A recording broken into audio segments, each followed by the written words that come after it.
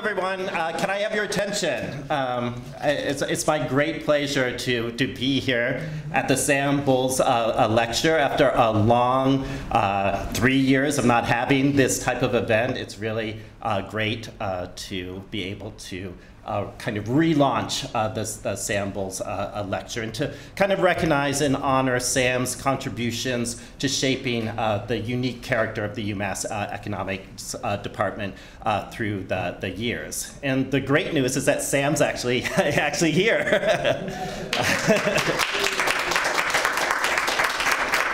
So, so for me, this is a little trippy because um, Sam was my dissertation advisor, um, and uh, now I'm chair of the department introducing uh, the Sam Bowles uh, lecture.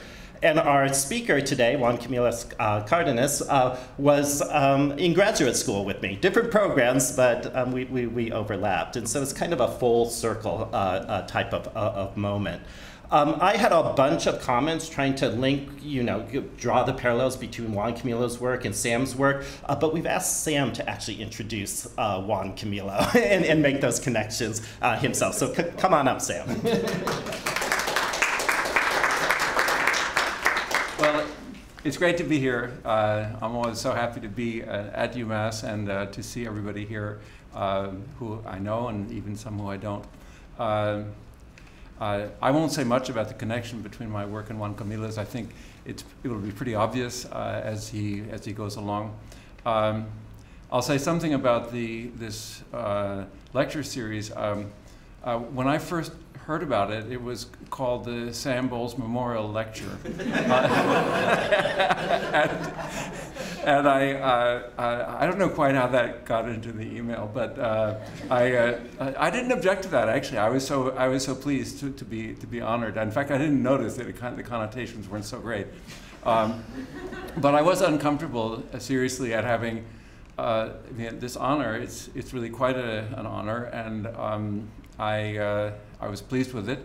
but I, I've never had anything named for me, except that my uh, daughter named her dog uh, Sam. and I think that was, I mean, I was very happy that she named her dog Sam, but uh, you know, who knows what was really going on, you know, between daughter and father and dog and so on. Uh, the, um, uh, I could tell you fantastic stuff about Juan Camilo, uh, but I won't bother to tell you what you can find out by just going online and looking at his massive CV, uh, many, many pages.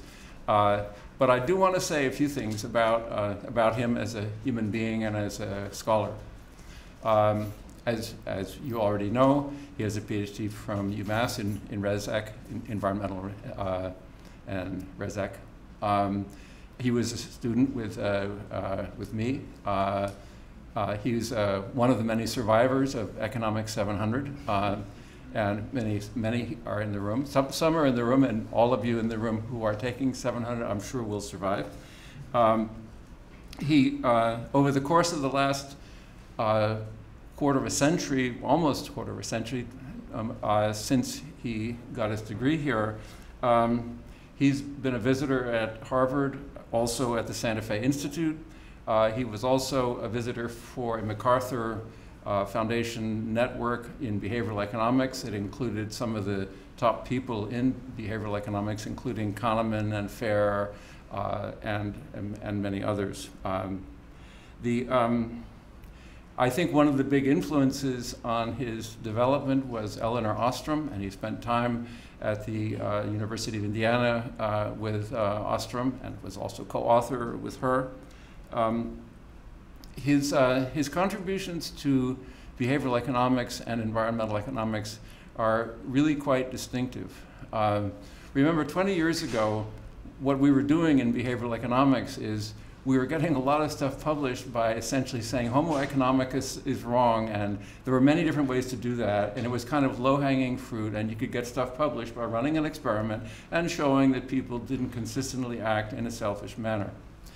Uh, and that was all done in labs and with students. Uh, there, there are two things I think is really impressive about what Juan Camilo did, and I'll tell you why he did it in a minute. But what he did was right from the beginning, he wanted to ask, oh, if what we're learning from behavioral economics is really true, how should we do economics differently? He, so he, he took it from being something which was a kind of exciting but kind of boutique field of cool results showing that Homo economicus was wrong into saying, how can we use this knowledge so as to better organize our societies, particularly uh, in, in ways that are sustainable and which attend the needs of the least well off? he immediately made that step, and I hope more and more people are making that because I think it's time we, we accepted the fact that the behavioral re revolution has happened, and now we have to think of what does that imply about other things in economics. Um, at one of those MacArthur Foundation meetings, I think it was in Chicago, um, we had a conversation, and Juan Camilo asked me, uh, I mean, he'd, he had enjoyed, uh, as you can tell from what I'm telling you, he had enjoyed being very connected to a really exciting group of scholars uh, in, in those years. And he said he was returning to go back to, to, uh, to Colombia uh, because he thought that's where he should put his energies to try to help the problems of uh, his country. And he said, sort of wistfully to me, does that mean that I'll probably eventually get, lose my connections with these networks uh, and um, will that be kind of the end of this tight relationship I have with these people? And I said, sadly, probably yes. Because I'd seen it happen again and again. People return to some place where the airfares are a little high, and maybe you're not at conferences, so people don't notice you so much, and you don't get invited, and it's kind of, um, um, you kind of get dropped out of the networks. And um, so he understood what he was doing. But then something really amazing happened. He wrote a couple of papers that really got a lot of attention because they were super good papers. And he took off like a rocket. Uh, and so he showed me wrong. Uh, and in fact, uh, for the next few years, I mean, I couldn't track him. He was always traveling somewhere to give a lecture or a workshop or a seminar and so on. In other words, he succeeded in going back to Colombia to serve the interests of the people of Colombia and also to maintain his status as one of the real uh, stars in the behavioral uh, economics um, community. Um, let me close with uh, this. Uh, most people do experiments and do some kind of behavioral work uh, thinking about their job market paper. Uh, and where am I going to put this thing? He started doing experiments as a community organizer. He wasn't thinking about publishing things. He was thinking about how to teach people how to cooperate so that they didn't suffer the environmental damages of their behaviors.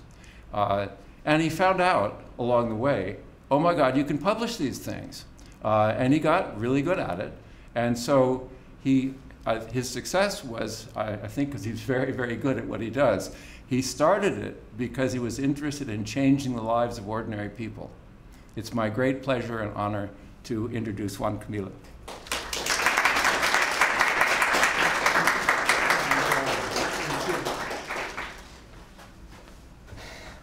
Wow. With with those words from Sam, I mean, it's it's moving and and and and humbling to to hear that from a person that has taught you so much as what Sam has taught me over all these years.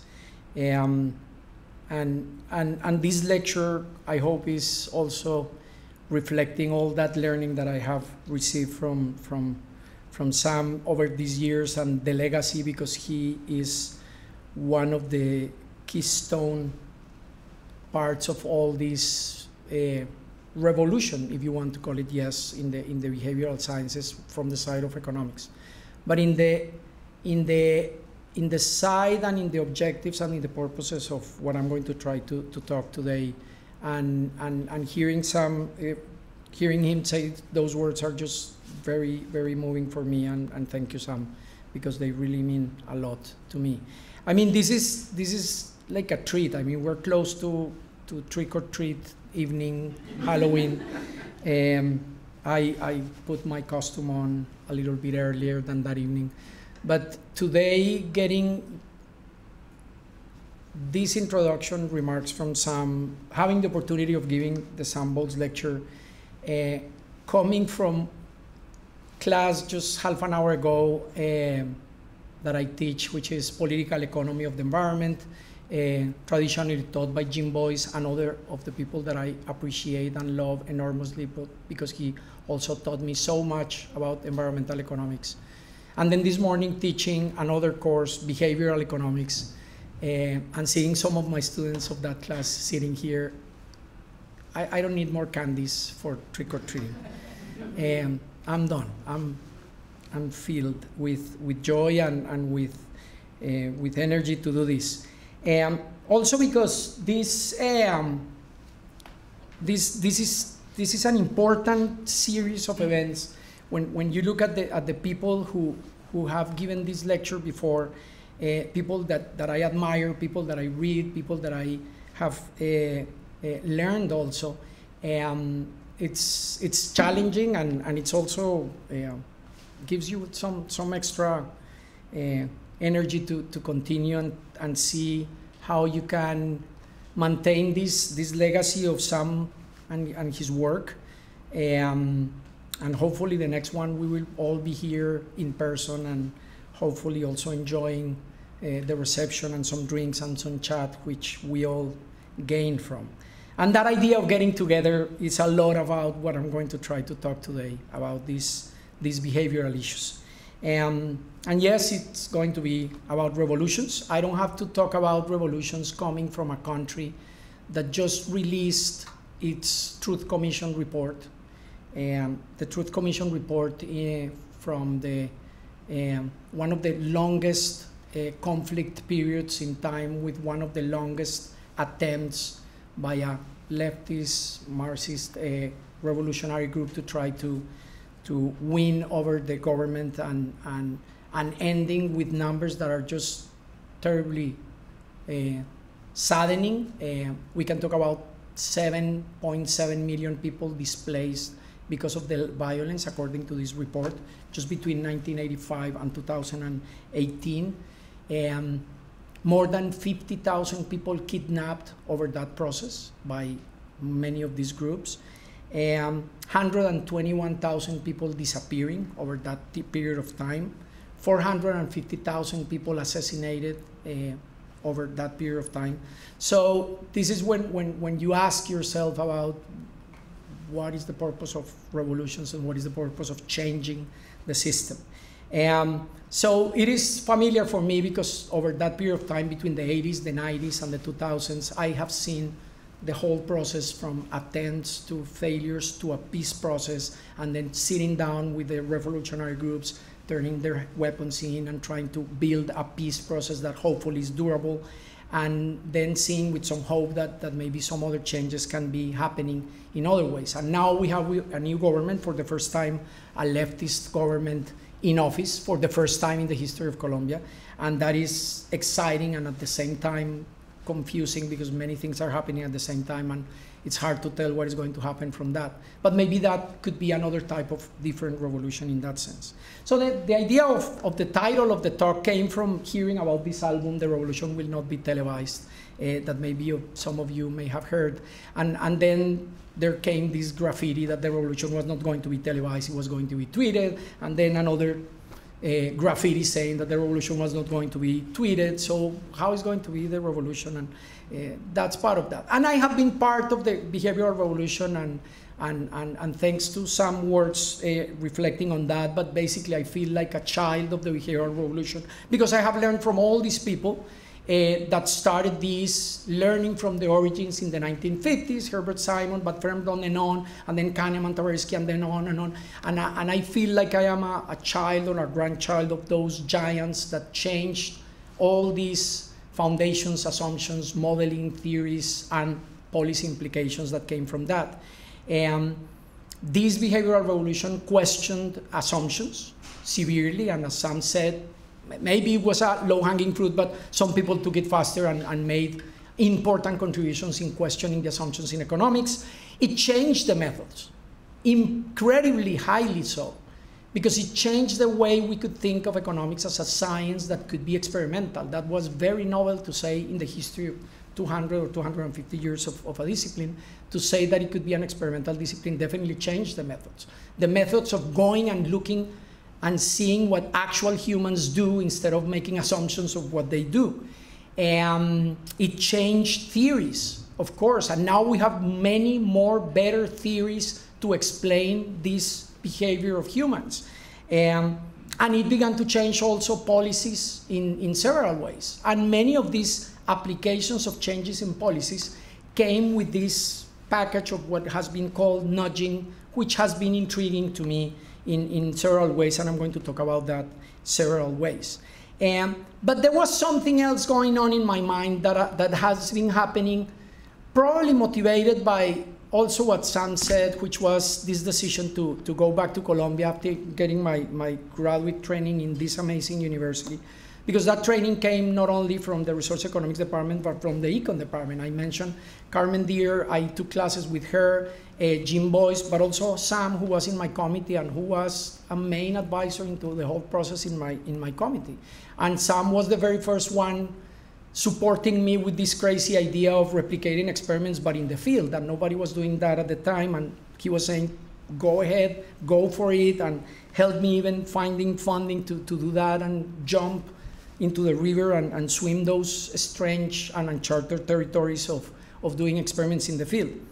But probably since then, I keep wondering something, and it's a disconnect that, that, that makes me always ask what's going on. And this disconnect has to do with the idea that, of course, we find that people are kind. We are not surprised at that now, and we have lots of support that people are kind, people are honest, people are fair, they are cooperative, they are willing to invest costly resources to punish others, to maintain social norms, uh, to reduce inequalities. They dislike unfairness.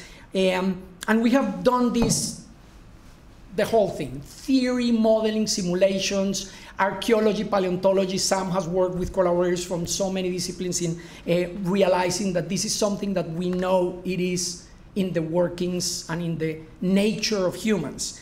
And this has been supported by many other methods, uh, from MRIs, neuroscientists, all the way, as I said, to paleontological evidence on how all these mechanisms work. And yet, at the macro level, we keep finding that deforestation continues um, to, to, to destroy, let's say, the Amazon.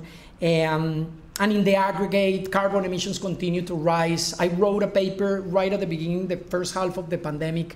Uh, the United Nations asked me to write a report if we could find some hopeful signals from the learnings of the pandemic. And I wrote that it's nice to see people appreciating uh, wildlife coming into the cities, like if they were not there. They have been always there, but hiding from humans. And now that humans were not there, they just showed up, and now we paid more attention. Um, and, and they asked me to write something hopeful in the sense of are we going to change our, our, our behaviors? Are we going to change from a behavioral standpoint? Are we going to really learn from this and, and appreciate the improvement in the quality of air? Are we going to appreciate better biodiversity and the like? And I wrote something like that like, like two years ago, less than two years ago, hoping for those better behaviors, and yet we're looking at carbon emissions still in the same patterns and with all these energy crises, and now we are seeing not much changing in the aggregate. And, but also in the aggregate, we're seeing the, the issues of corruption, and, and, yet we find that most people are honest, and, and we continue to see waste of valuable public resources, and, and then you wonder why people like fairness and they enjoy these different things. And poverty and inequality remain high in many parts of the world, acknowledging that some parts of the world have been very effective in reducing, in some parts, more poverty, reducing poverty than inequality. But this is something that has been always in my mind. Why, if at the micro we see this, it doesn't have to, it doesn't happen at the aggregate? And what are we going to do about it from the behavioral uh, point of view and experimental tools? So what are, what are we missing in that sense? And then two papers came and sort of made me think about this, this lecture and, and hopefully a paper. And, and these two recent papers may have some clues to, to get us on the same page in the facts about what is happening. Uh, one of them has to do with a vast data set that more or less support that most of these nudges have very small or even null effects when seen in perspective.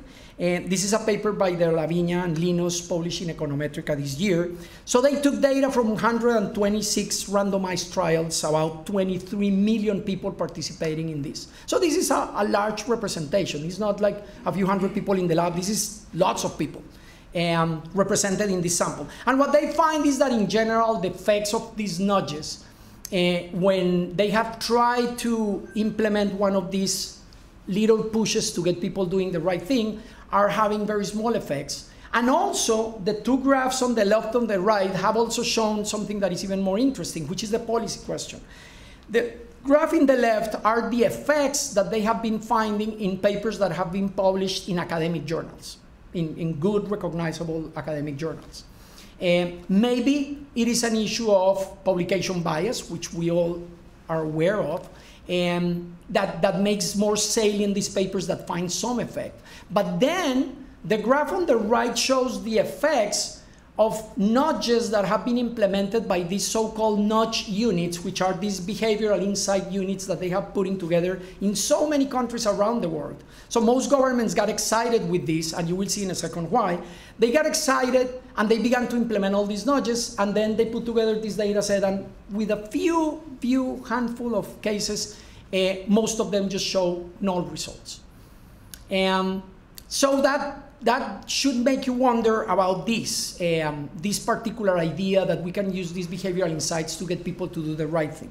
And again, remember my disconnect, especially thinking about environmental issues, that if we need to change the environment and we need to change at the aggregate level major things, and yet all these traits that humans have that are demonstrated in the lab and in the field over and over at the micro level in the aggregate are not happening, and, and that's the open question that I have.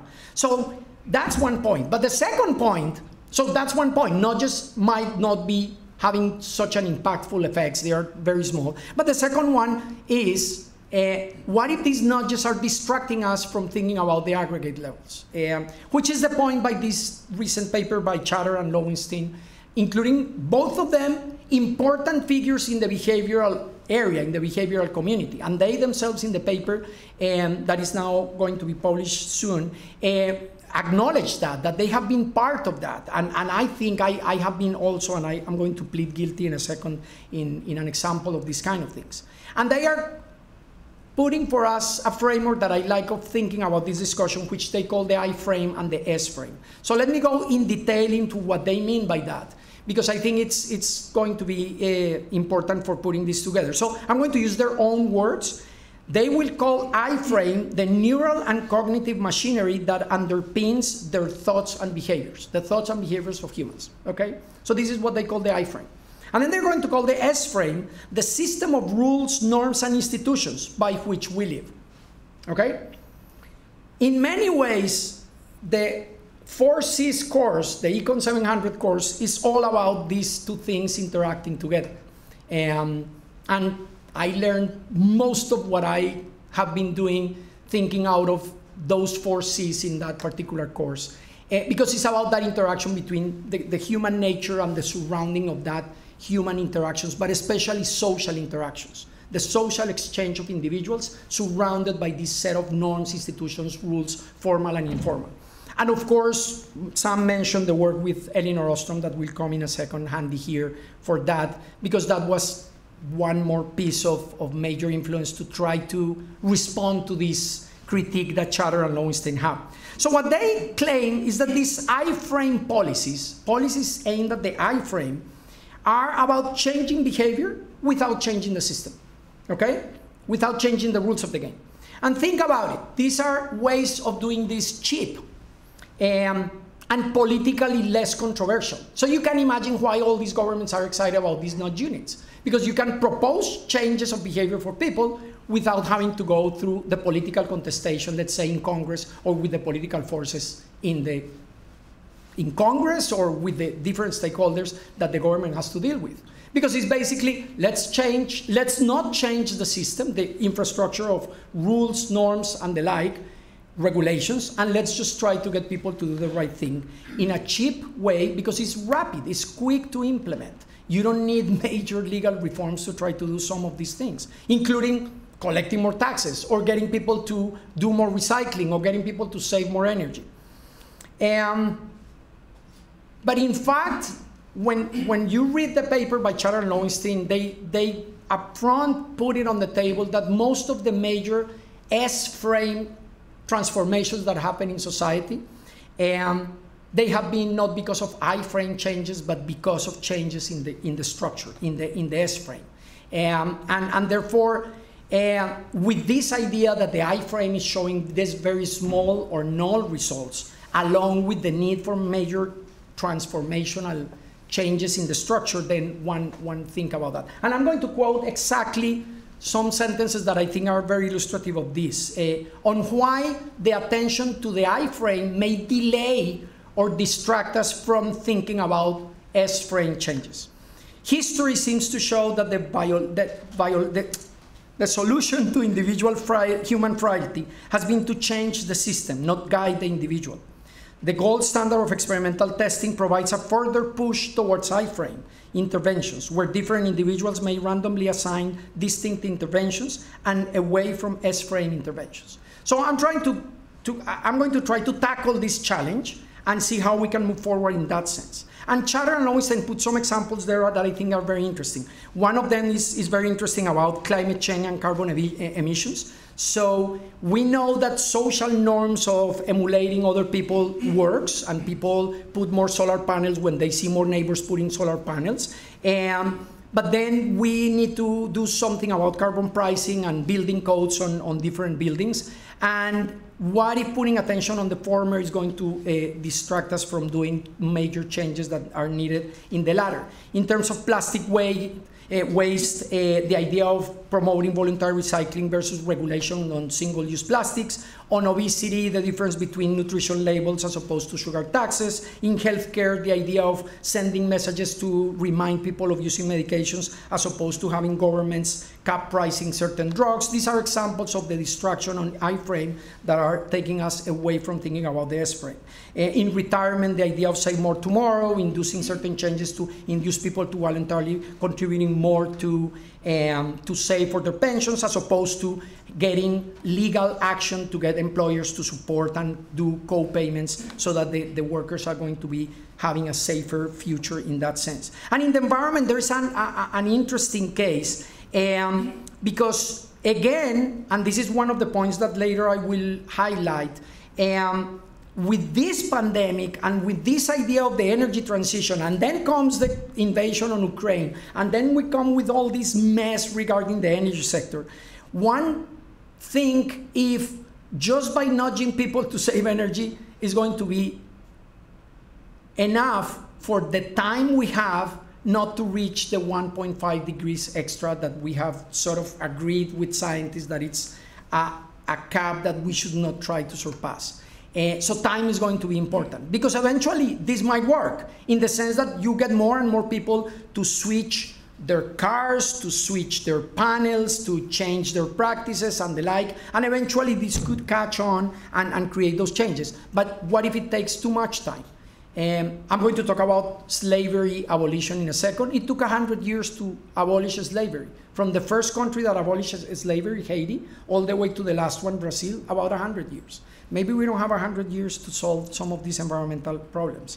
And there's a paper which precisely Loewenstein worked on. It's very interesting and, and it was published in Nature, in, in Nature Climate Change, which is a, an experiment in which they show that when they offer people nudges about saving energy, it dis- reduces their likelihood to vote for a carbon tax. So think about that. Carbon tax is one of those examples. I was sharing this with my students this morning. Carbon tax is one of those few, few examples in which you can get a lot of economists agreeing on. So it's like a policy solution that we all think it's more okay, more and less okay, maybe a second best, but it's going, it, it, it could work. But if by nudging people to save energy, we are taking away the possibility of people passing a carbon tax in Congress or in litigation or in the different arenas in which these negotiations are going to have, then one thinks, one, one wonders about this. Um, so this is, if you guys are looking for thesis topics, there are so many things that could be thought of. For example, this whole movement about ESGs, in companies in the private sector. They are so excited about ESG, but then they're also excited about the nudging and the behavioral actions that they can support, which, in a way, from the standpoint of the private sector, is similar to this excitement by the public sector to set nudge units, is in the private sector to implement all these strategies so that they don't have to touch the structure. They don't have to touch the structural issues that are at place. And I don't have to justify in this building, in this department, in this university, uh, why it would be eventually important to think about more structural changes, let's say, from the standpoint of, of companies. Um, so, with that, think about slavery that I was mentioning before. This is just a thought experiment and it may sound cruel, but imagine that we were going to deal with this kind of strategies trying to nudge slave owners to be kinder because they are pro-social, and then this could postpone the idea of abolishing slavery. And just trying to create another set of strategies to improve the relationships between slave owners and slaves. This is this is the kind of question that that would think if one thinks about, about the moment, the historic moment of something that needed the type of major transformation and agreement throughout the world. Um, so that finally, but again, over a 100 years period, ended up with all the countries in the world abolishing this, this particular practice. Um, and with the behavioral tab, I, I, I, have to plead guilty too. I just finished a paper with a, with a number of colleagues because a, a, a major bank in Colombia, a private bank, asked me if we could put in practice this idea of behavioral sciences and the idea of uh, tackling an important problem that banks were going to have during the pandemic because people were going to hit, being hit severely because of the because of the of the pandemic and they were going to suffer but at the same time the, the, the, the, the credit default in many players in the system would, would be risky in, in, in general for the financial sector and, and I said to them, I would be willing to try what I know about trust and reciprocity and these kind of things uh, if they work. And, and eventually they, they worked in an interesting way, by the way. So we, we use one of these ideas, one of these strategies to use behavioral messages to get the clients of the, this bank who were in default, they were already in delinquency in their credits, uh, mortgages, credit cards, and personal consumption. And we improved and recovered in average some 4 to 5% of those clients who were in default to get back to their payments on time.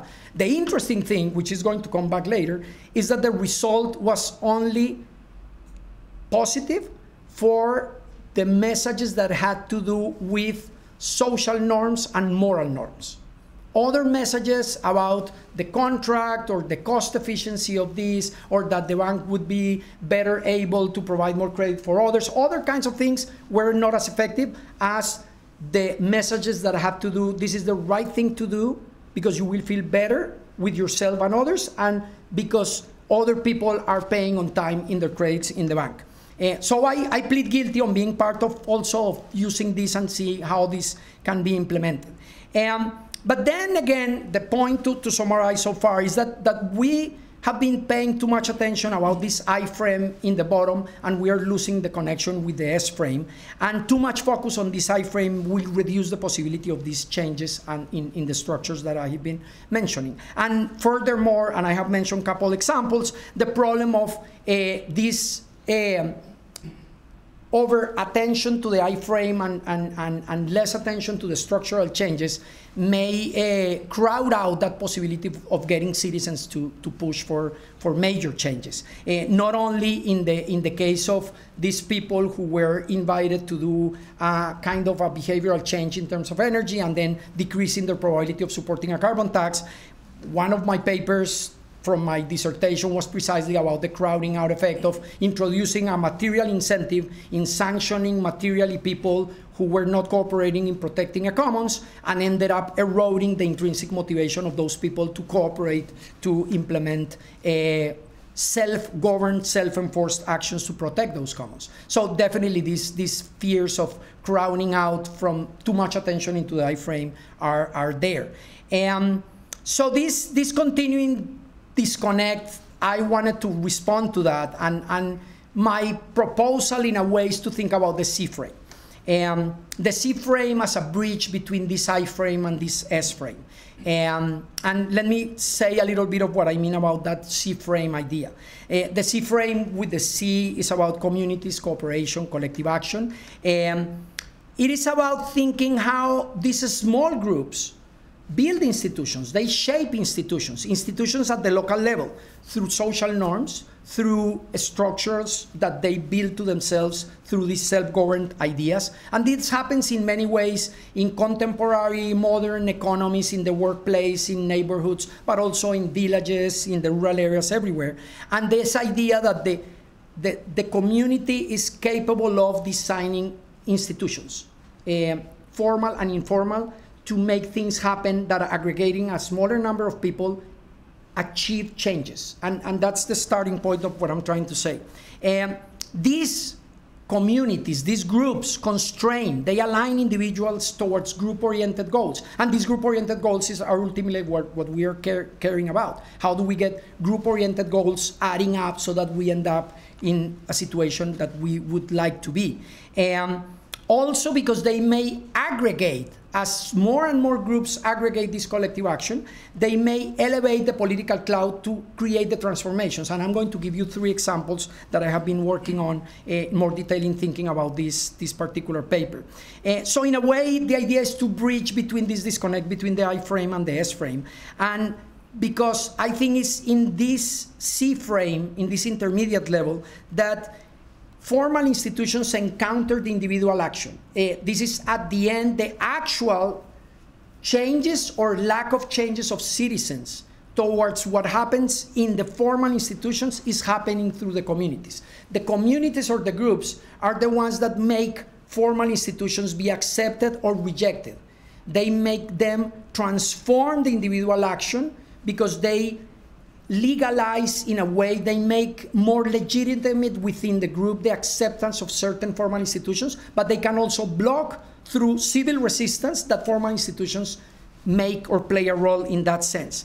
And so that's where this this this disconnect could be then connected back. And when these informal institutions emerge or are sustained or die at this local level within those groups, and in aggregation, creating the political cloud to push changes from the bottom up might be some, some clue into, into the future. And, and in that way, we can think less naively about how sometimes the S-frame transformations uh, are not working. Uh, in many cases, one wonders why these are not working, why very well-intentioned legal mechanisms end up deviating to, towards other goals and through many dynamics that can have from rent seeking to political control to corruption deviating from the original uh, objectives that's uh, going to be problematic. Um, this was supposed to be read or i don't know about sound. Um, everyone's able to hear one yeah yeah, but is the recording? Yeah, I'm, I'm worried about the Yeah, recording. The sound is okay? It's okay. Okay, great. So before this, I, I wrap up the idea of the C-frame and give you these three examples. There's something that has been intriguing me. And I uh, I'm thinking about the family also as an institution. How does the family play a role here? And how does it play a role in this particular discussion? And of course, one has to talk about Nancy. And Nancy kindly sent me an email saying she couldn't be here because this was going to be about her work too. But precisely sitting with her recently, having lunch and talking a little bit of these ideas, of course, we have to think about Nancy Folbre in, in these issues. How, how does the family fit in here? And it fits in several ways. Um, this is a nice quote by, by Heckman and, and Mosso that says, childhood is the province of the family. Any investigation of how conditions in childhood affect life outcomes is a study of family influence. Um, Heckman has been pursuing this study of the family context to think about child development, one of his major areas of contribution. And, and one of the intriguing, interesting things that he has been finding is that even in Denmark, where they have the most precious panel data set of people from birthplace to the grave, complete, of Danish people from all these long periods of time, is that even there, with such society that has been strengthened by the action of the government and being redistributed and progressive, the family still plays a major role in explaining a great deal of the social mobility of Danes. And it's really fascinating when he's arguing why this is not only about the state creating the opportunities, but also the family creating that.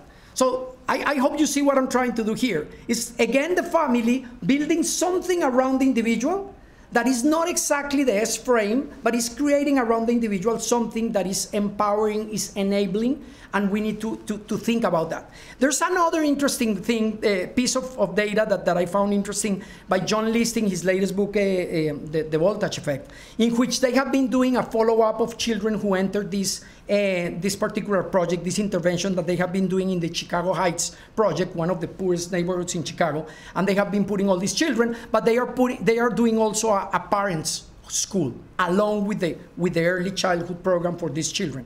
And one of the interesting things that they find is that the very few positive effects that they have been finding in investing in these children are in Hispanics. And why? Because of the multi-level family structure.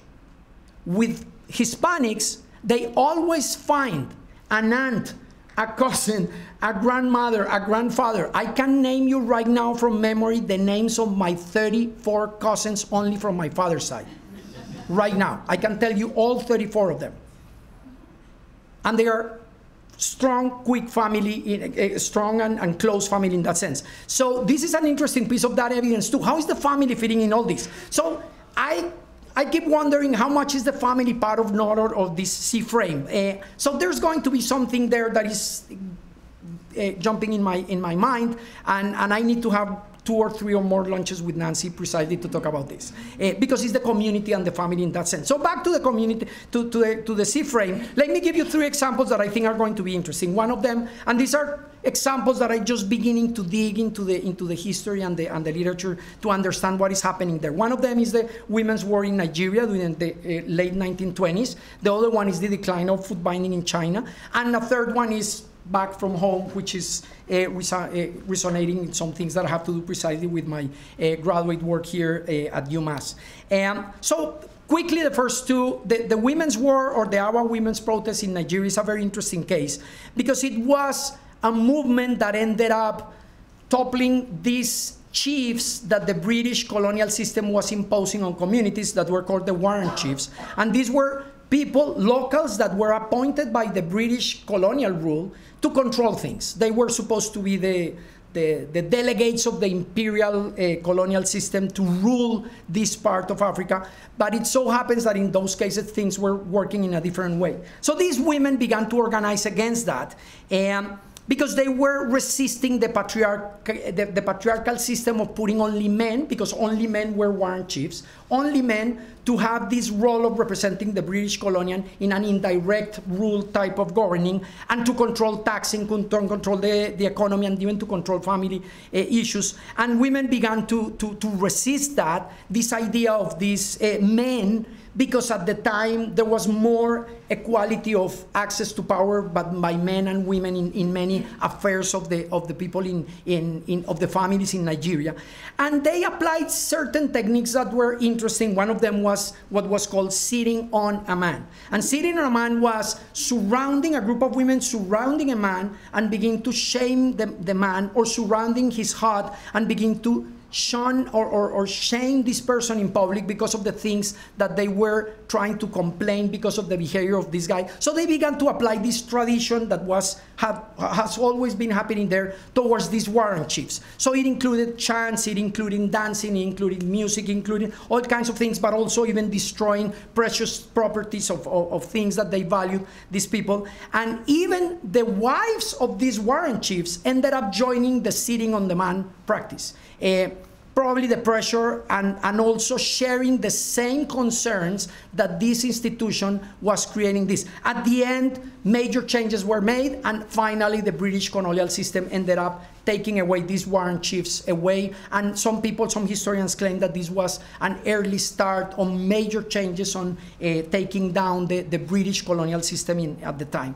Um, so begin to think what kind of practices are happening there and why that is interesting. The other case on the on the foot binding, you all know, uh, this lasted for about a thousand, a thousand, years. I mean, thousand years with this practice, and then. Um, things began to change, and within one generation, one generation, foot binding disappeared. And, and, and Mackie has been studying this, and this paper by Mackie and LeJeune, they identified three mechanisms that I found that are going to be very interesting for that. One is that the reformers began to educate the public, saying, hey, nobody else is doing this around the world. We are the only ones. Second mechanism, hey, there are good things about having natural feed, advantages, and there are also disadvantages of maintaining this foot binding in terms of the health of the girls. And third, they created these natural feed societies, small clubs, societies, in which they committed within the natural feed society, if you had a male child, you commit so that your child will marry a girl that didn't have her feet bound. And if you had a girl, you will commit to marry a boy who accepted that and you commit then not to, to bound the feet of your, of, your, of your daughter. And over a generation, this whole thing, this practice disappeared. But these natural feed societies were these small groups that were creating this, and this just began to replicate and replicate and replicate all over. And the third case is, is a little bit uh, more detailed, and this resulted with what I call sometimes the most successful land reform that has ever happened in Colombia, and probably in Latin America about 6 million hectares, which is more than 14 million of acres, were titled to black communities in Colombia over a short period of time. I mean, this government, the current government, the Petro government in Colombia, committed to have 3 million hectares redistributed in an agrarian reform, and now they are acknowledging that they won't have the money, and now they went down from 3 million to 1.5 million. And then the Minister of Agriculture just said last week we might reach half a million hectares in the first couple of years.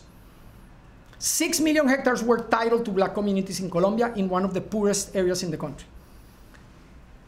There was a guy writing a dissertation here back in the late 90s, and this is the first page of that dissertation that Sam was one of the committee members and a major advisor and helped with all that. And I wrote there on February 11, 1998, just recently at the time, the Colombian government entitled the Consejo Comunitario Mayor del Medio Atrato, a group of 110 rural communities of about 45,000 people with almost 700,000 hectares, about 1.7 million acres of land in the Pacific coast of Colombia. Imagine one single title of 1.7 million acres for 47, 45,000 people, uh, families, uh, 45,000 people to govern collectively this piece of land. And there was no better motivation for me for my dissertation for, for doing fieldwork than thinking the start of this. So precisely combining different methods, going into the field and doing experiments in the field. And I'm not going to go over those experiments now, but doing these experiments to try to understand the dynamics at the micro level of these groups. I have been working in that particular region because those four states, if you want to call them departamentos, are the region where most of the black population in Colombia has moved to and, and is living today. And in those places was where this land titling was happening and asking ourselves and with other colleagues two questions. What happened in terms of socioeconomic outcomes and what happened in terms of forest conservation? Major questions that I had back when I started my dissertation. So I have been working on those issues in, and studying this. I did experiments in the field. These are pictures from those first experiments that I was doing in the field, but also doing those experiments included doing workshops with the community members and listening to them and having them to tell me stories about what is happening in reality. Uh, that is me without gray hair many years ago, but I'm not going to blame the gray hair to either the dissertation or my schoolwork or my students. Um, so in this area, we were able to collect an immense data set from satellite imagery all the way to the registry of each of these titles, and then a census made by the government on the poorest communities because they needed to focalize people so that they could do social programs in this region that is full of, um, uh, it's, it's, it has one of the highest levels of poverty around the country, but also the fact that the transition was gradual. So the bluer the image, that's the earliest of the resolutions that titled the land to these communities, to the redder, which is the latest of those. Okay? So there was a period of time within 1996 all the way to 2011 that we could track all these households and all these collective titles and try to uh, understand what was happening because of that. But there's a little bit of history that is important here. And that history is that the reason this happened as an outcome was the result of what I would call a C-frame type of interaction from the bottom up. And that was a major movement of communities, mostly black communities, organized by themselves, sometimes with support with the church, the Catholic Church in some of these places in the region, that began to create local associations to resist the arrival of mining companies and the arrival of timber companies. Because this region at the time and before this titling were public lands. And these public lands were more or less open for grabs for anyone who wanted to come. And the wealth in terms of natural capital that was available there was incredibly immense. The wealth in terms of the possibility of mining and extracting timber, of very valuable timber woods, by the way, in that area. So we ended up studying this throughout this period of time. And that movement that started in the 1980s to the 1990s found the perfect storm. And the perfect storm was the Constitutional Assembly in 1991 in Colombia. So there was a major constitutional assembly that was going to reform a constitution that was 100 years old. And in that constitutional assembly, notice how interesting this is black communities could not elect representatives. Not that they were not allowed, they didn't add up the votes necessary. So they, they postulated people for, for being, they nominated people for being elected and they didn't make it. They didn't make, make enough votes. But the indigenous communities did get seats in the Constitutional Assembly. And the indigenous communities, leaders, ended up representing the black communities and they imposed in the Constitutional Assembly one particular article that was a transitory article in the Constitution in 1991 that said in the Constitution the government will have two years to recognize the occupation of black communities all throughout that territory. Not only recognize, but title and formalize collectively the ownership of that land. Within two years, the government has as, as a time frame to start issuing a law and implement this. So it's not only issuing the law, it's implementing that. So they ended up implementing that over those years. So in 1996, I am starting my PhD here at UMass. I'm starting to take Econ 700 and all these courses, and this is beginning to happen. And it happened throughout all the years. This is the cumulative number of hectares that were titled and the number of community councils that ended up being titled. So we have, in a way, not a perfect natural experiment, but we have at some point pre-treated town or, or, villages to in-treatment and post-treatment villages. So we could do some econometrics of that. And we ended up doing, and I'm not going to, to bother you with the, with the details, but let me give you the summary of the findings. What we found is that the per capita income increased in these communities. This is against the counterfactual, being the same community before titling or neighboring communities that are similar and did not get collective title of the, of the land. So per capita income increased. Poverty was lower with the index, indices of poverty that they read. Wealth was increased in terms of the value of the ownership that they had. Remember, this is collective property. This is not private property. School attendance improved and home improvements increased. You don't have a deed for your house in these territories. You cannot sell your house. You cannot sell the land.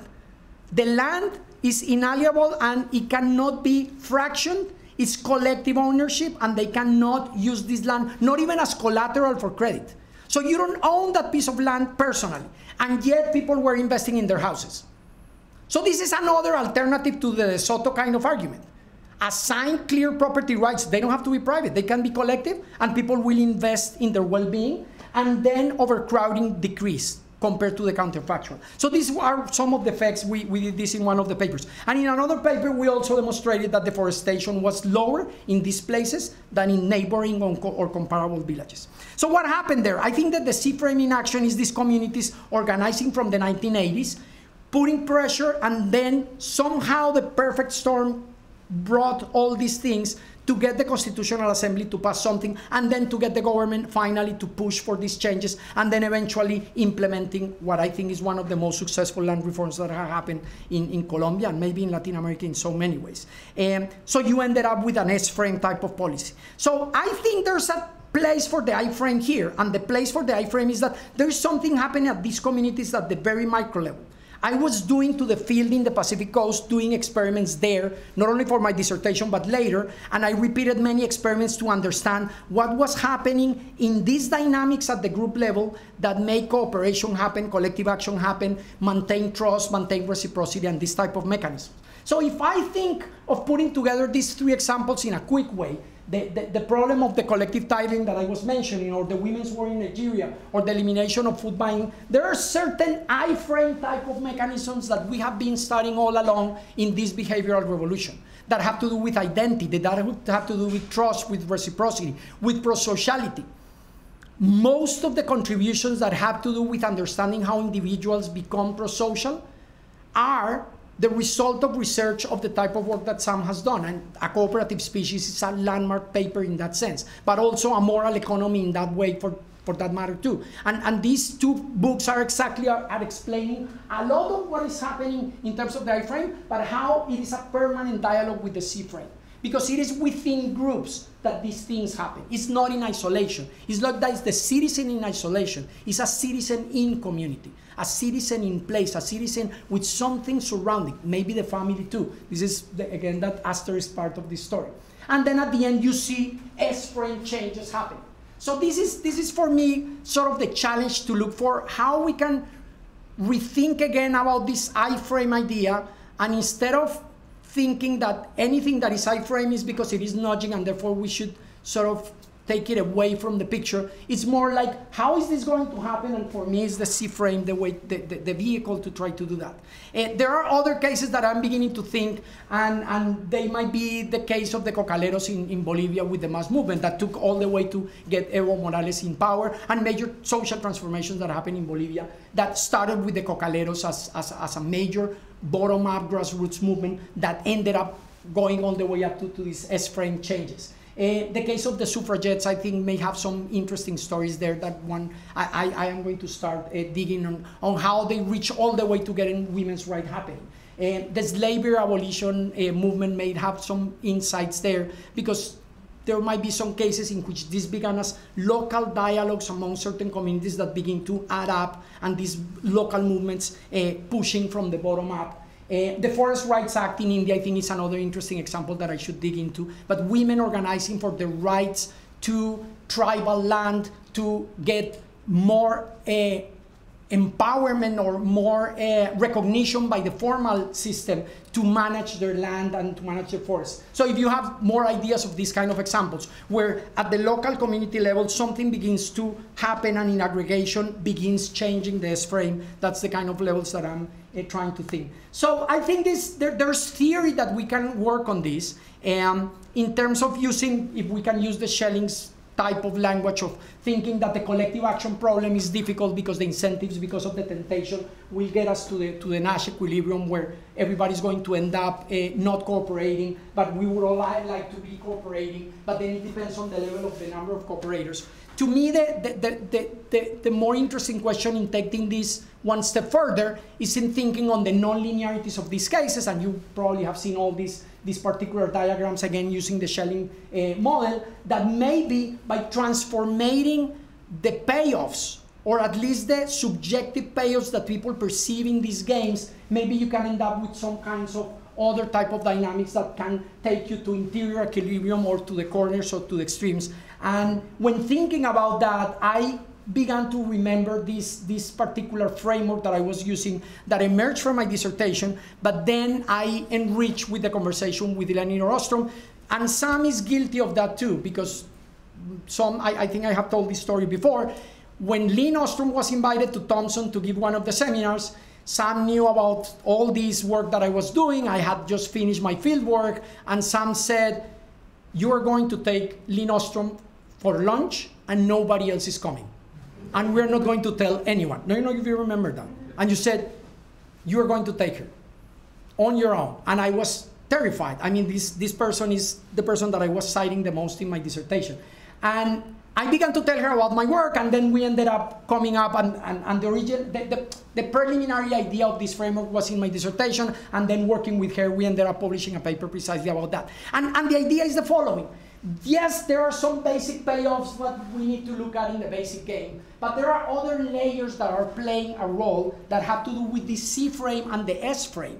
From the formal to the informal institutions, social norms, identity, reciprocity mechanisms, all these things that have been well studied and at the time were not as clear, but thanks to Sam, again, this became more and more structured in a theoretical way to understand how people end up doing things that they shouldn't if they were homo economicus. All those mechanisms having to do with these different layers. And the whole argument the framework is as you put all those layers, you begin to transform the game, and eventually you can transform a cooperation game into a coordination game, and eventually into games where you have multiple equilibria or even one equilibria that is related to the, to the, to the desire. And let me give you one piece of, of, of, of, hope in that sense. This is a study that we did with the Center for the Sustainable Development Goals uh, for Latin America in Colombia. And this is a survey in 13 cities in, six, eh, in seven Latin American countries. And it's a major survey representative of, the, of 13 uh, uh, cities. And in this survey, we ask all kinds of things, including pro-sociality, how much people approved policies that redistribute towards the poor, that the state uh, devote taxes towards helping the poor, um, redistribution in general, uh, helping uh, the, the most vulnerable, these kind of questions. And then on the other hand, we ask all kinds of questions about uh, environmental, pro-environment behavior, whether people were recycling, whether people were saving energy, whether people were paying more for organic products, these kind of behaviors, and also favorability of policies of that kind. And it is really interesting that regardless of the city or the country, there's a very strong correlation between the, what we could build as an index of pro-sociality in these citizens with an index of pro-environment attitudes and pro-environment behaviors.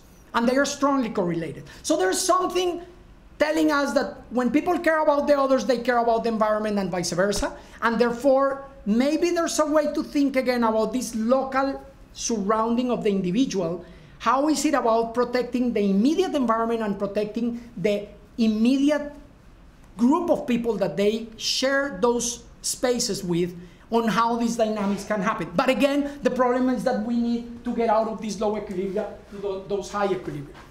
And those high equilibria, we want to get there, and the question is if not just with this little push here is going to maintain us here. How much the push has to be to get all the way there. Again, let's say energy transition is going to come from citizens switching their cars, their roofs, their light bulbs, and these kind of things. But maybe that is going to take a long time. And maybe we don't have 100 years to make that transformation if we hit some critical thresholds in terms of the climate, right? So time is a constraint in that sense. Um, so that's to, to, to think about how is this going to happen in a way that you get not individuals, but groups, that's the C frame, climbing this up because of the group that maybe individual action is not going to, to happen.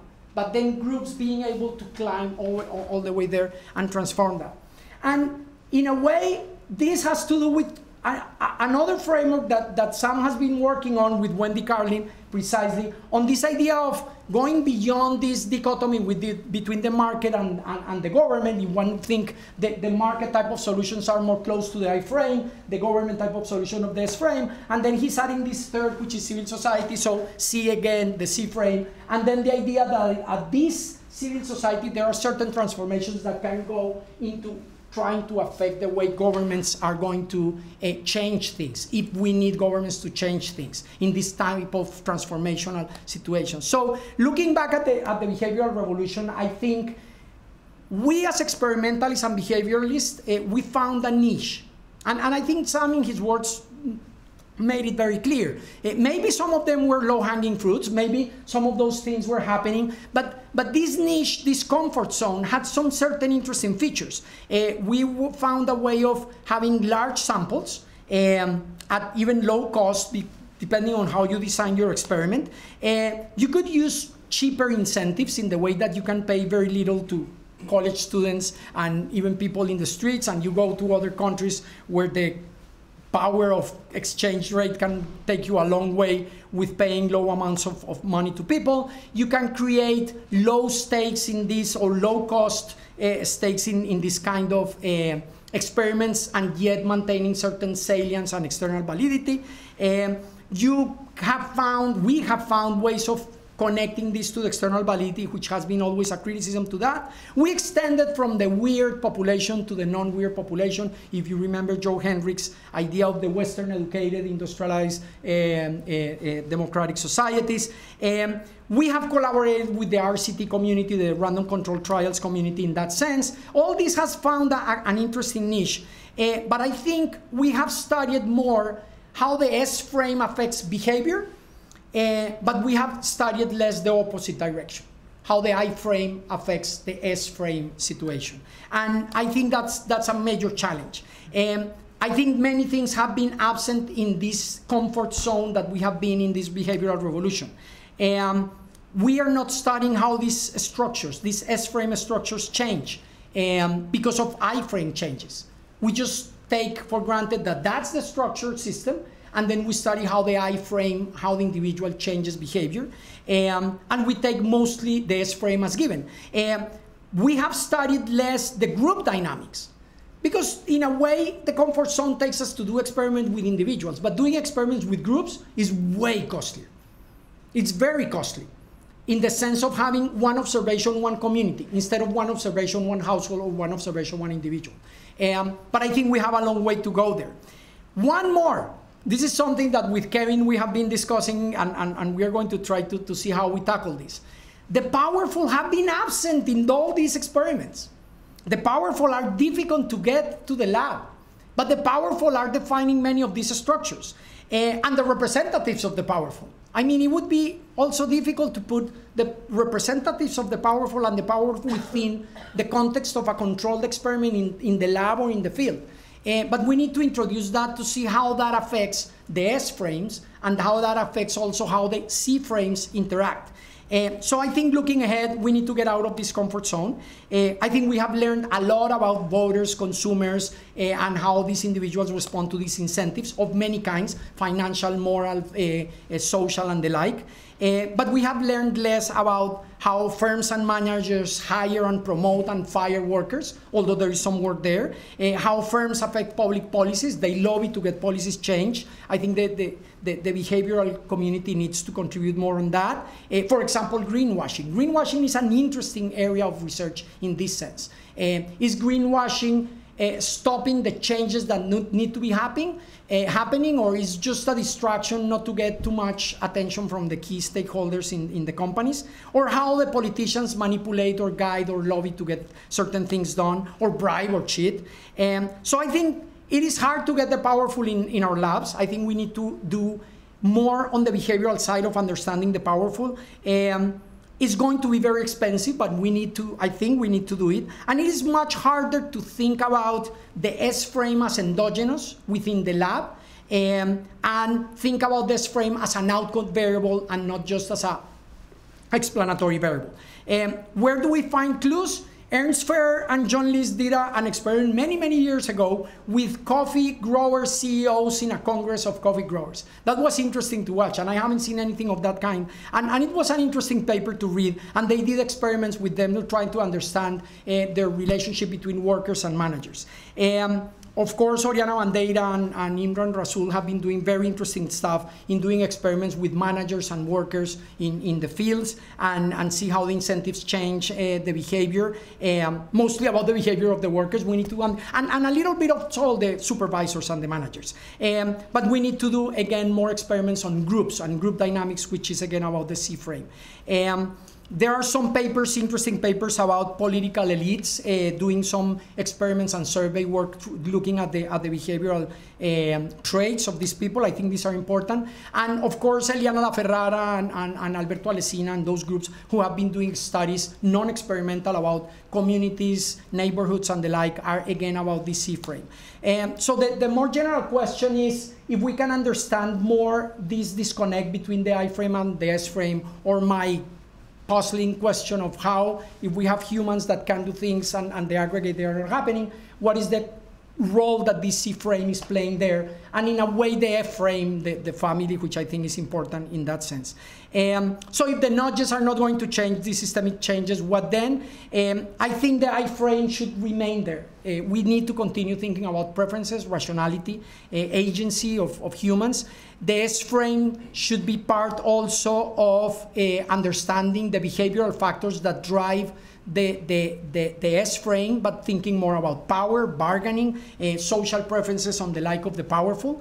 Um, I think the I frame have, uh, the, the I frame experiments have helped us uh, understand how certain factors find resistance for changes, but we need to understand more how those changes could happen. And again, that's why these three examples that I gave you, I think, are about that. And in responding to, to to Chater and Loewenstein about this I-frame versus S-frame with the C-frame is how it sits in between about collective action, about social norms, about guidelines, heuristics, network, social ties that when aggregating in groups and aggregating from the bottom-up way uh, could end up at the end uh, shaping structural changes that we want. Uh, we need to continue creating this type of behavioral and experiments to understand that, but also to put the S-frame variables as an outcome variable in the experiments. Uh, there are very few experiments that would try to do that, to change the S-frame type of uh, rules or institutions or outcomes.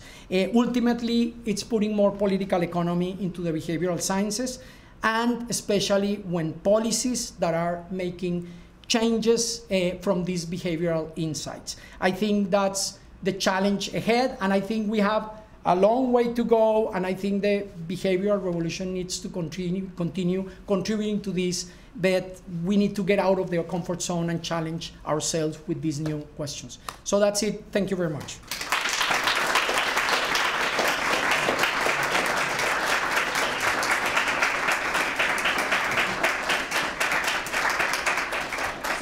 Thanks a lot, Juan Camilo. Uh, we have about 20 minutes where we'll open it up uh, for, for comments and so on. After, after this, we do have a reception uh, downstairs in the atrium of, of, of, of Gordon Hall, to which you're all invited. But let me open it up for questions, comments, observations.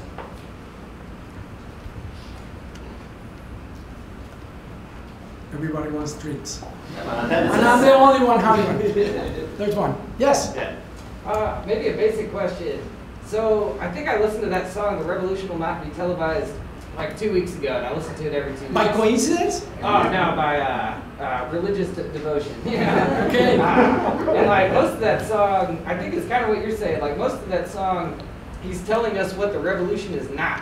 But there's like one line where he says what the revolution is. And he says the revolution will put you in the driver's seat. And I was kind of thinking about that throughout this because it seems like a lot of your critique is that the economic uh, theory has focused on individual decisions without looking at like social decisions or social choices or social processes. So I'm kind of wondering, first off, what do you mean by the revolution? And like second off, like if it's not through nudges, how do we get to this point uh, where we democratically, collectively make decisions as a society have the glorious communist utopia? No, I, I, mean, thank, thank you for that comment. I, I even thought about playing a little bit of the song, of one of the songs, or, or showing the lyrics, but then it would take even more time. Um, but it, it's, it's indeed has to do with, with putting people in the driver's seat. Uh, but I think it's putting communities in the driver's seat. I mean, to me, it's thinking about how communities can get in the driver's seat, civil society in the driver's seat to drive literally and figuratively these changes, as in some of these cases that I'm thinking that are illustrative of that kind of dynamic. It was these small groups, these natural fit societies, these women's grouping during the sitting on the men, these particular associations of consejos comunitarios in Colombia who started from the community level and began to say, hey, we can get together and get some help with this priest who is going to help us write down these bylaws to create this association and then we can get legal recognition and then we can apply for a collective title of land upon the government. But also that pressure that in the constitutional assembly they ended up saying this has to happen because it's acknowledging the presence of these groups that are organized. So this is not about a give out. This is not about let's do give this to people. No, let's acknowledge what they have been doing. So this is about putting the communities in the driver's seat. So I thank you, thank you for that uh, for that question. And, and again, uh, yes, the album is, is interesting, and, and I am not a, a hip hop kind of uh, expert or, or fan, but but the, the, the, the sentence rang in my head, and then I began listening to the album, and then I almost thought about putting some quote here about that or, or the or the songs. But yeah, thank you. Yes. Kind of following up on that question, I, I think your uh, framework where you have S frame and C frame and I frame really fits very well in, in studying revolutions, like real big revolutions. Like let's think about the Chinese revolution. Well, the Chinese Communist Party had an agenda to change the S frame. And then they started with, by building C frame, of course, local level party organizations. And, and that led to the big change. And then there was the cultural revolution which tried to change the I frame. So I, I find this framework particularly relevant to understanding this big social I mean, yeah, no, no, I, I agree. I, I agree in that sense. And again, remember that the Chinese Revolution had huge influence in Latin America. Also, the Cuban Revolution, huge influence in Latin America, and and the results have been very troublesome. At least for, from the Colombian side. And and I am a person who grew up as an adult during the 80s to realize and suffer much of the tensions of this failed attempt. But hopefully, because the peace process is also a reflect that something survived out of that revolutionary type of movement, survived to let things at least there latent so that a negotiation happened between the government and the Marxist guerrillas uh, from the FARC mostly. And, but it, it's not complete, that process, but hopefully something will happen out of that. But it is interesting that the, the things that are being discussed today, in many ways, we sound back to that. Uh, the idea of going back in the agrarian reform that they are proposing to local collectives at the local level, cooperatives and small groups of communities to have back access to the land and to local public goods and see how things will go. But obviously with a lower st stigma on the market institutions to allow this to allow these communities to flourish. Um, but but yeah, I mean it could be compatible in that sense to that kind of, of historical process. Um, um, yeah, I, at least the origin of how it transformed things all the way up. Yeah, um, yeah. I, I think. Well, yes. Okay. Uh, great, uh, great presentation. Thank you. I wanted to ask you a little bit about the um, uh, the literature and the debate where you started about the the proposition that uh, behavioral economics has demonstrated the capacity of nudges per se to have a major impact, and that apparently, I don't know about other papers, but the one you cited has demonstrated the opposite the nudges in and of themselves having very, very little impact.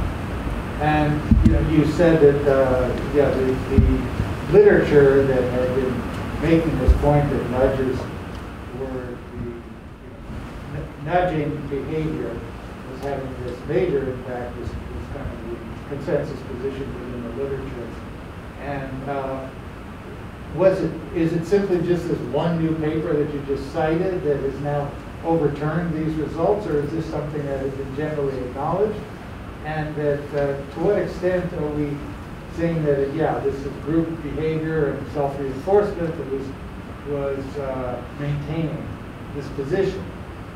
Comparable, I think, you know, when I teach, one of the things I teach in macro is the extent to which this notion of uh, labor market rigidities is the cause of unemployment, and you have 30 years of literature purporting to demonstrate that this is true, and then over all, then all of a sudden, my friend who was here last week, David Howell, writes a paper and says the, whole thing is wrong, and actually uh, Heckman uh, uh, acknowledged that, that uh, Howell and his co-authors had demonstrated that it was wrong. So where, where are we in terms of the literature on that, and to what extent have you seen changes in the literature? Yeah, I mean, the, the, the I, I, think that, that that's that's a fair question because yeah, the there is a, a growing um, number of studies now that so many people are doing these nudge studies all over the place.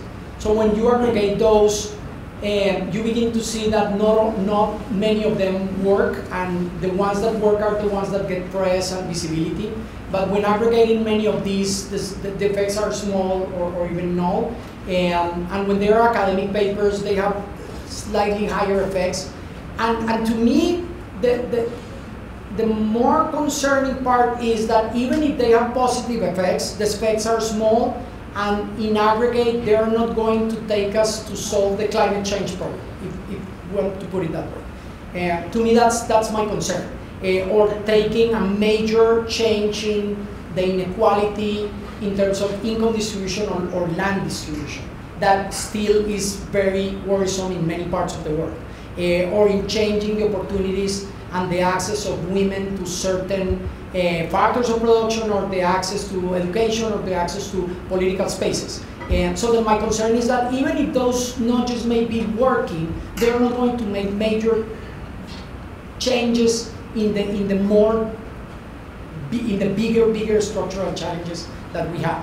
And but but again, at the beginning, every time one of these new extra study trying to do one of these nudges found a positive result, it was exciting. And, and, and we were all excited to see, wow, you can change people's behavior by changing the framing or changing the context or changing the menu of alternatives of changing information. But remember, all that was without touching the structure. So let's leave the, the structure untouched. And this is why this was so attractive to policymakers around the world, because it's cheaper, politically and economically. And, but again, it's, it's, it's not making a dent on, on major challenges. Maybe it might change some things. I, I don't know exactly which ones of the structural bigger questions. But the ones that I'm worried about, again, environmental changes that we need to make to stop biodiversity loss, to stop deforestation, to stop climate change the way it's happening. I, I, I am worried about the possibility of these mechanisms working if we don't have structural changes at, at very high level. And again, this is why I worry about the powerful in the game and how we study behaviorally the powerful. Because the powerful are making most of the calls in many of these decisions.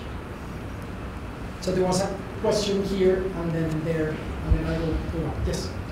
Uh, so my question is kind of a conditional multi-part question. Um, so when you mentioned ESG, um, that made me really think about um, like corporate social responsibility um, and diversity, equity, inclusion policies um, alongside ESG. Um, and so my question is, um, do you think that those programs have the potential to shape um, fair and equitable outcomes in the S frame? And if so, um, how do you think we can encourage firms to engage in those programs for normative reasons, um, as opposed to instrumental ones like the effects of profitability? I mean, the, I think that the, the jury is still out in terms of ESG as a really transformational dynamic, all the way to simply greenwashing to, to get away with it. Uh, so it's going to be case by case, but changing the S-frame in those domains in the private sector is going all the way to how profits are distributed between workers and the company.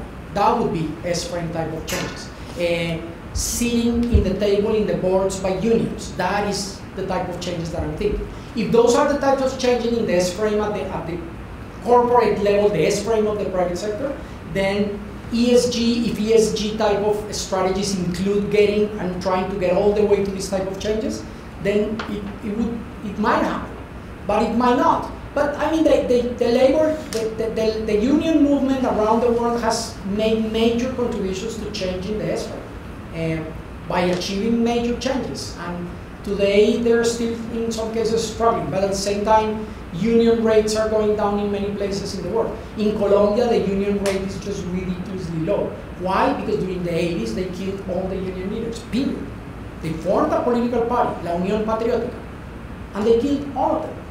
800 of the directives of the Unión Patriótica were assassinated during the 90s, 80s, and 90s. Um, so, uh, again, if ESG type of strategies add up to these major transformations, the examples that I just gave, I, I think we should be welcoming and studying how this happens within the companies. How these dynamics within the companies are going to grow up from the bottom up to push for these major changes so that, let's say, unions have a seat in the boards or sharing of the profits changes in the, in the corporate level. That kind of changes would be interesting to watch. Yes? Um, um, when my question is about the this idea of powerful and power. Like when you're talking about the powerful or the representative and uh, that they're willing or that they have um, they have the opportunity to sit on the table and, and bargain and negotiate. What is is there some kind of, of is there a definition of power how would you how would you explore this? Like because if we're talking about multi-level, I would say that one thing is the is power at the individual level, another one would be power at the community level, and how that power at the community level would like what, what would be the definition for it to interact with the structure?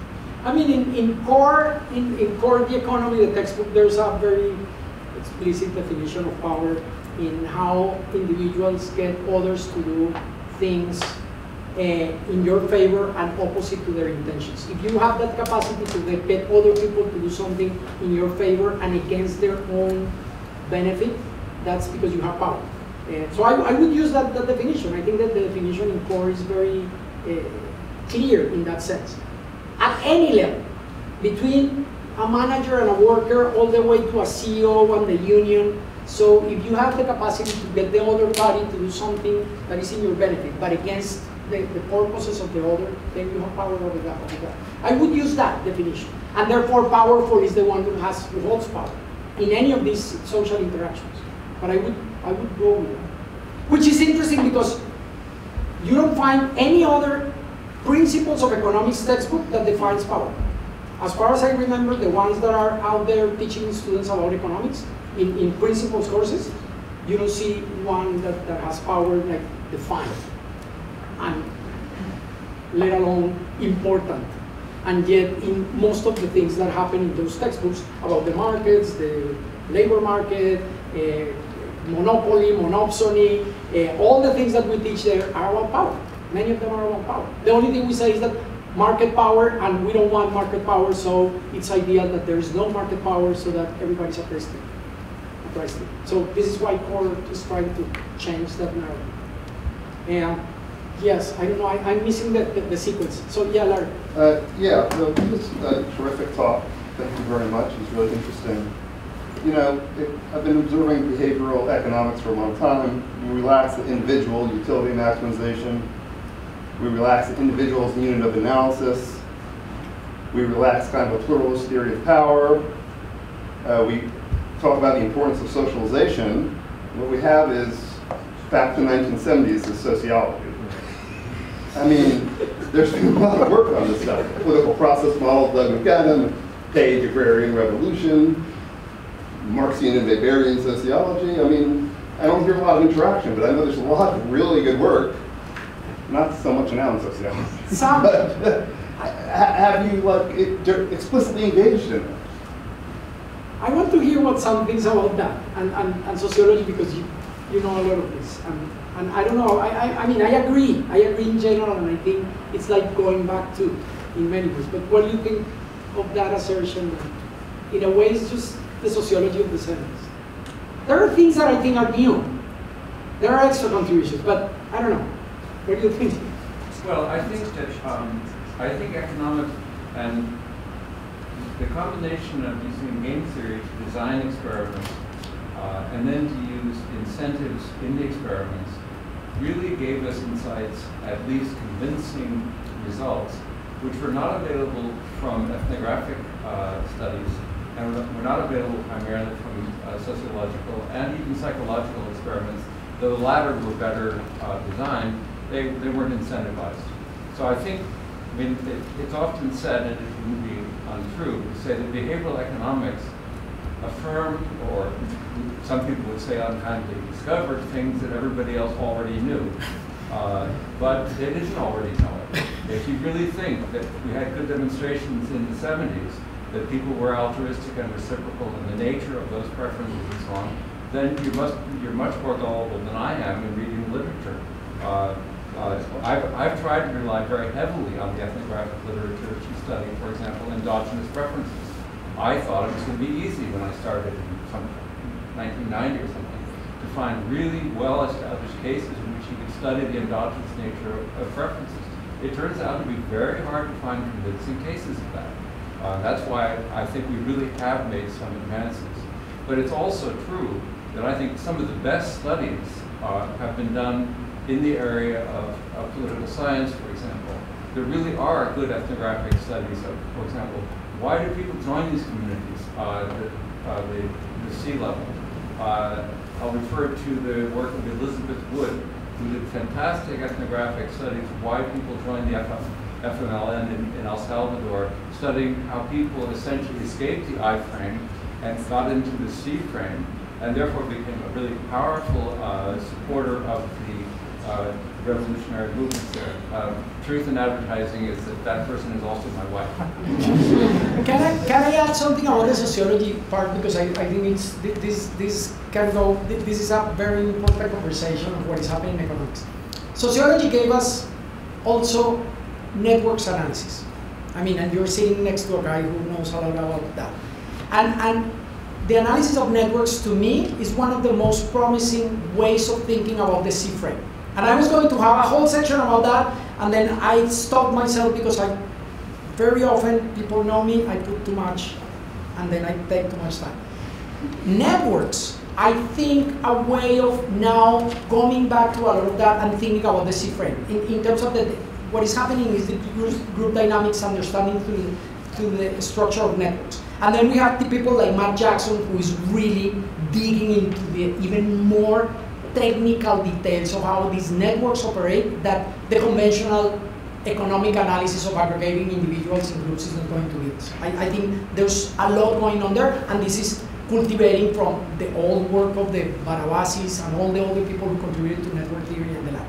But here's the thing, and this is something that it's going to be maybe transformational.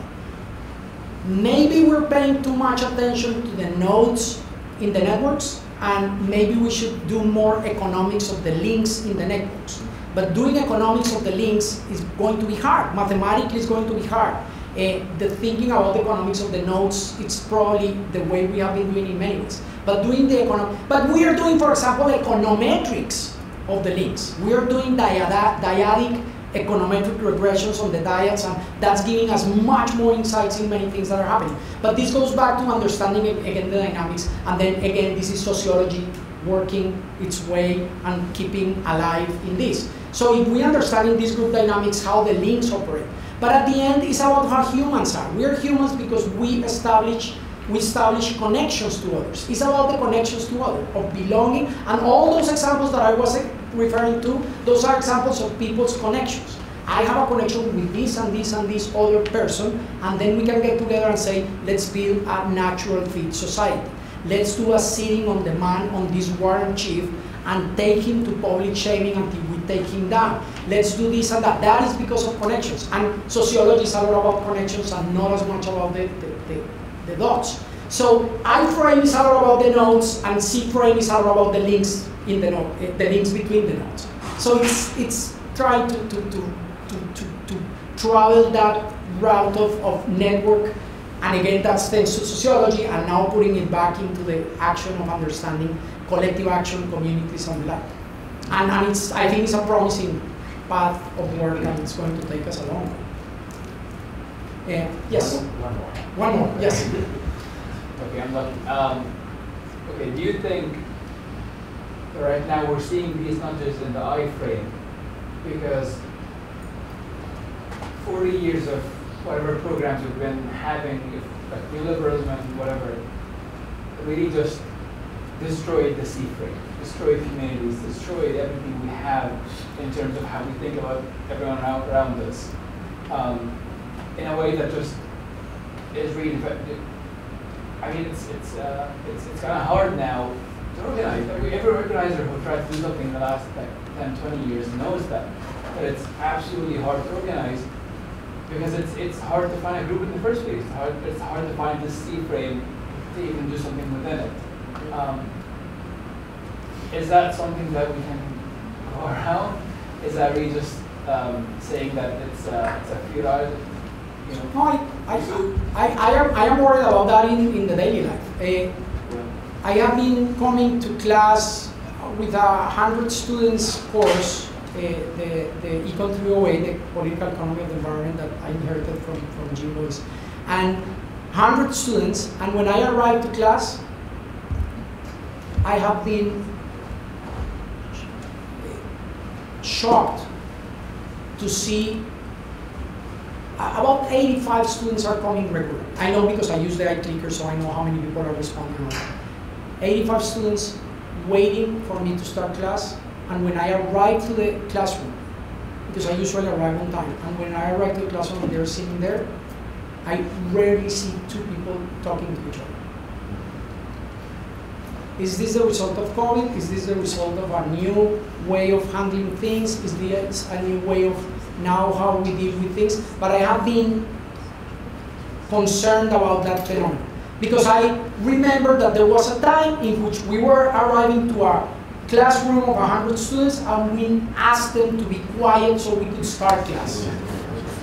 It's so easy to start class these days. And to me, that's worse. Just absolute silence. Each of them on the iframe. no, seriously. Not a single conversation between the two. The, the other class that I teach is a smaller class, and I see this growing in more and more conversations. Some of those guys are sitting here and they having more of that. But in general, I see that, and, and it's just a reflection of that in so many other ways. Um, but but is that, that it, somebody was the other day circulating something that was interesting about the, the third place. Uh, we had always the first place, the home, the second place, the workplace, and there should be a third place. Uh, the cafe, the, the public plaza, the place where we meet and we chat, and the disappearing of the third places is destroying that. Why? Because we have now everything at a click at our home or at a click at our workplace. And with the pandemic, we fusioned the two into one and made it just one. And then the I-frame light became dominant in so many other ways. So we need to fight back and see how we recover back the C-frame type of, of life, of those links in the network, not only the nodes separated. So I, I agree. It's the, the fact that so many policies focus on the I-frame can destroy that is one of the concerns. As I said, one of the papers in my dissertation, and this was in the year 1999, one of the papers was about the crowding out of individual taxes or penalties imposed on communities that destroy the intrinsic motivation to cooperate in the protection of the commons. Precisely in the Pacific coast that I was doing those experiments. And so this, this concern is there. Yeah. Um, Jim is concerned about the, the no, no, let's have, have Jim voice. I just wanted yeah. to close us out. I just actually wanted to make a plug for a talk that's going to be held here uh, exactly two weeks from today, in fact, on November 10th, which is about sort of the C-frame, but it's really about a case study. It's called The Water Defenders, and it's about struggles in Latin America by communities to defend their rights and access to one of the most important natural resources, which is water. Um, John Cavanagh and Robert Broad uh, have written a book called The Water Defenders, which is about struggles of communities in El Salvador as it happens uh, in this respect. And they'll be here, and there'll be copies of their book here, and you're all invited. It's open to the public, um, November 10th. Um, I think one of the things that will come out from that, by the way, is that very often such community movements, like environmental justice movements here in the United States would be another example, arise in response to what, not to a nudge, but to what might, one might call a push. Um, they arise in response to efforts by the powerful to change the facts on the ground by appropriating resources and rights that communities believe belong to them as a, as a human right, like access to clean uh, and safe environment and water. So I think it'll be a very interesting talk, and, and I encourage you all to come. Thank you. Thank you. Thank you.